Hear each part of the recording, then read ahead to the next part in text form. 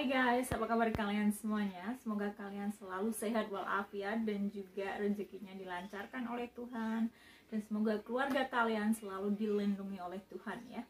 Anyway, um, Kases belum sempat edit video dan ngevlog sudah berapa lama ya Kases nggak upload video, maaf ya. Um, Dedek beberapa hari ini uh, demam dan sakit panas, kebawa ke uh, Kak Se sama Mas Kisi bawa Dedek ke dokter dan uh, dites ya strep throat ternyata negatif, jadi COVID juga negatif, jadi uh, flu biasa, badannya panas, demam dua tiga malam ya, jadi Kak Se tiga malam tidak dapat tidur yang um, cukup, jadi mata Kak Se agak kriip-kriip ya kalau orang Jawa bilang ya. Kasus gantian sama Mas Kisi ya.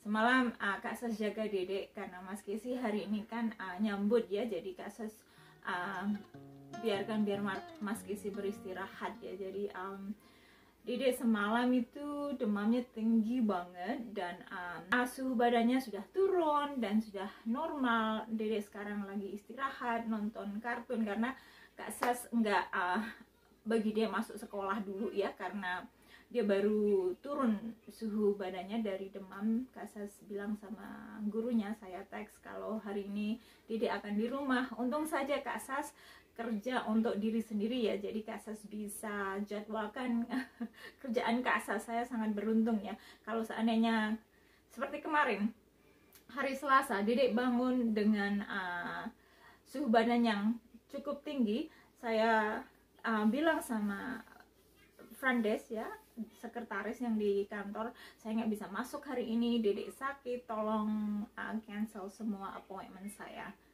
gitu aja satu teks oke okay.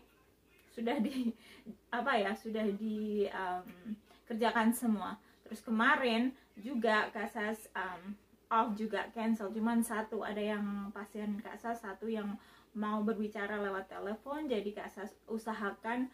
Karena Mas Kisi juga ada di rumah saya bilang Mas Kisi bisa jaga Johan uh, dan saya akan bicara dengan pasien lewat telepon di lantai bawah jadi ada privasi gitu. Anyway itu uh, flexibility Kak Sa sebagai apa uh, psikoterapis yang kerja di, di independent contractor ya maksudnya independent contractor itu Kak Sas kerja untuk uh, agency ini untuk klinik ini. Tetapi saya tidak dipekerjakan gitu. Jadi beberapa uh, jadi apa yang saya dapatkan uh, uh, kita share gitu. Maksudnya seandainya saya mendapatkan uh, berapa banyak uh, dari insurans mereka akan ambil berapa persen gitu. Jadi uh, tidak saya tidak dipekerjakan dan saya tidak juga tidak bisa di fire maksudnya tidak bisa di uh, perhentikan. Saya sendiri yang bisa memperhentikan diri saya sendiri. Anyway itulah singkat cerita kenapa Kak sibuk dan juga um, saya sebenarnya juga mau share dengan kalian berita sedih di keluarga kita ya. Um, ini kasus belum siap sih se sebenarnya. Nanti kasus akan lebih uh, lebih dalam lagi. Um, sebenarnya uh, Oma Oma sudah meninggal dunia. Um, seminggu lalu jadi uh, keluarga lagi berkabung ya. Uh, kita sudah ada uh, funeral Oma dengan keluarga dan um, keluarga saja ya. Oma permintaan beliau terakhir itu hanya keluarga saja ya. Jadi anak cucu uh, cici pokoknya yang dekat lah ya. Itu saja yang uh, datang dalam pemakaman ya. Kita memberikan apa roses ya. Bunga bunga mawar satu persatu untuk dimasukkan ke pemakaman Oma. Jadi um, saya masih belum siap untuk share uh, terlalu banyak dengan kalian, jadi saya mau update kalian saja. Anyway, saya mau bebersih rumah, lihat nih. Uh,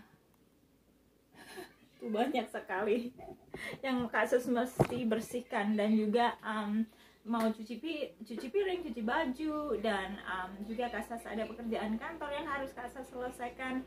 Jadi begitulah pekerjaan kasas di rumah dan um, di sini semuanya dikerjakan sendiri dan uh, kalau anak sakit uh, kita prioritaskan dan Kasa syukurin karena apa? Kasa ada um, apa ya? Ada support di sini. Mama juga baik, Mas Casey sangat memperhatikan, sangat sayang pada kita dan uh, saya ada flexible schedule sangat-sangat um, bersyukur ya anyway kasas uh, uh, selesaikan dulu pekerjaan kasas nanti kasas saya akan lanjutkan lagi. Semoga Tuhan melindungi keluarga kalian sehat selalu kasih kasih keluarga kalian. God bless you